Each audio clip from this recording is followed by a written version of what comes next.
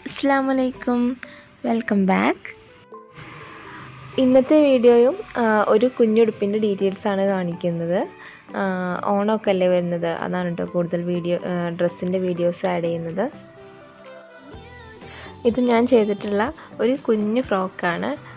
ഒരു വൈറ്റ് നെറ്റിലാണ് നമ്മളിത് ചെയ്തിട്ടുള്ളത്. പിന്നെ ലൈനിങ് ആയിട്ട് നല്ല ഗ്ലേസിങ് ഉള്ള ഒരു സാറ്റിന്റെ ലൈനിങ് ആണ് കൊടുത്തിട്ടുള്ളത്.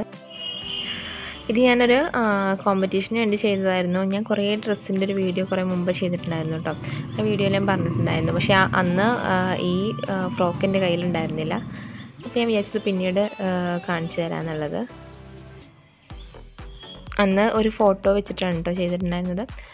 അപ്പോൾ ഞാൻ ഇത് ഫുള്ളായിട്ട് കാണിക്കാമെന്ന് വിചാരിച്ചു പിന്നീട്.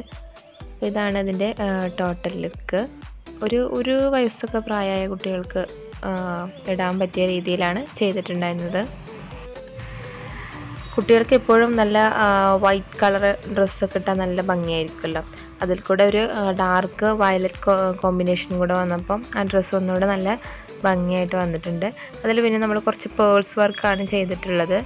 പിന്നെ ഇതിന്റെ യോക്ക് കൊടുത്തിട്ടുള്ളത് ഇങ്ങനെ റഫിൾ ചെയ്തിട്ടുള്ള ഒരു യോക്കിന്റെ ഒരു പീസ് കൊടുത്തിട്ടുണ്ട്.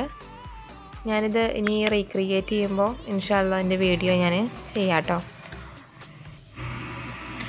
പിന്നെ ഇത് താഴെ നമ്മൾ സ്റ്റിച്ച് ചെയ്യേണ്ട ആവശ്യമൊന്നുമില്ല നെറ്റല്ലേ അതിന്റെ ആ ഒരു ഉള്ളിലുള്ള പാട്ട് മാത്രം നമ്മൾ സ്റ്റിച്ച് ചെയ്താൽ മതി ലൈനിങ് നെറ്റിൽ ചെയ്യുന്നതുകൊണ്ട് തന്നെ നമുക്ക് കുറച്ച് റേറ്റിൽ നമുക്ക് ചെയ്തെടുക്കാനായിട്ട് സാധിക്കും.